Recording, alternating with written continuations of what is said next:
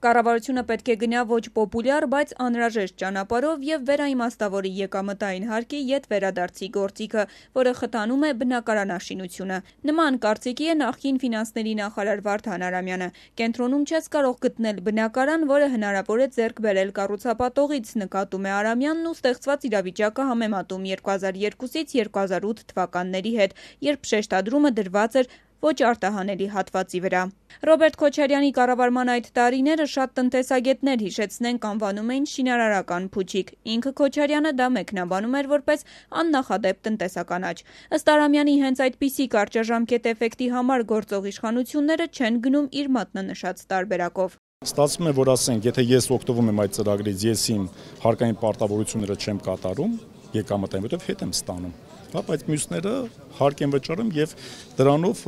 ֆինանսավորում են թոշակների վճարում։ Հիմա տեսեք, երբ որ պետությունը դա հետ է քաշում, սա պոպուլյար չի,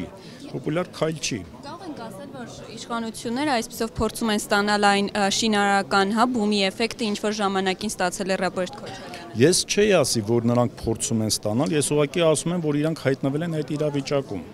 Ես չեմ, այո, մենք գնում ենք այդ ուղությամբ։ Արամյանը հաշվարկում է 2016-ին, երբ Հովիկ Աբրամյանի կառավարության ժամանակ կապիտալ շինարարությունը վերակենդանացնելու հիմնավորման այս ծրագիրը ներդրվեց, բյուջեից վերադարձը կազմեց 600-ից 700 միլիոն դրամ։ Իսկ այսօր այդ թիվը գրեթե տասնապատկվել է եւ մոտենում է 8 միլիարդ դրամի շեմին։ Հակադարձմանը թե ինչու ձեր Կարեն Կարապետյանի կառավարությունը չգնաց այս քայլին, Արամյանը պատասխանում է. իրենք գնացին խստացման ճանապարհով եւ սահմանեցին 55 միլիոն դրամ շեմը մտածում ենք, որ առաջի անգամ մի հատ զսպաս շապիկը հագցնենք, վերայիմասուն տեսնենք ինչ ուղություն կգնա, երկրորդ անգամ կատարենք երկրորդ, երրորդ քայլը եւ այս ճանապարհ մենք դուրս գանք այս խաղից։ Արամյանը ընդգծում է, այս գործիքը ոչ թե սոցիալական, այլ տնտեսական է, քանի որ թիրախավորում է բոլորին անխտիր ներառյալ բարձր եկամուտով անձանց, որոնք կարող են բնակարանի կարիք նույնիսկ չունենալ, բայց օգտվել այս ծրագրից։ Իսկ եթե ծրագրի կողմնակիցները պնդում են, որ 55 միլիոն դրամը, որը շուրջ 115 հազար դոլար է կազմում, սոցիալական շեմ է, ուրեմն նրանք պետք է պնդեն նաև, որ մեր տնտեսության միջին աշխատավարձը 180 հազար դրամ չէ, այլ 1 միլիոն 200 հազար, ինչն անիրական ցուցանիշ է։ Եթե մենք դրան տալիս ենք սոցիալական կոմպոնենտ, ուրեմն դա պետք է համադրելի լինի, օրինակ բնակային երիտասարդների ծրագրին, ցուցանիշների կամ դրա շեմերին Եթե մենք դրան տալիս ենք տնտեսական կոմպոնենտ, հասկանում եք, այդ նշանակում է, ասենք մենք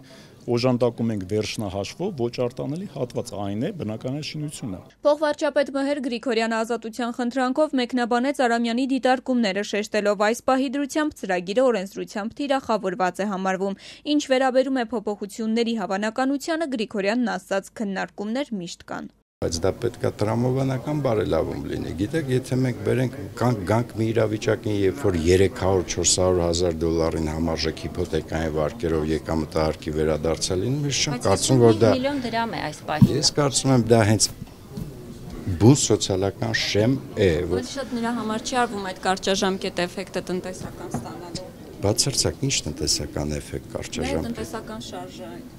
շինարարական բնակարանաշինության Քոչարյանի ժամանակների հետ էին զուգահեռներ անցկացվում որոշ տնտեսագետների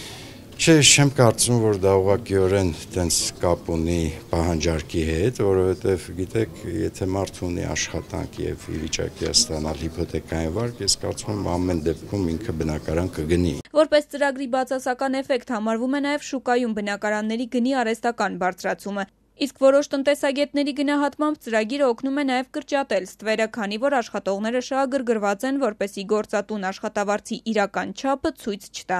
Արամյանն ասում է ստվերի դեմ պայքարի ավելի արդյունավետ մեթոդներ կան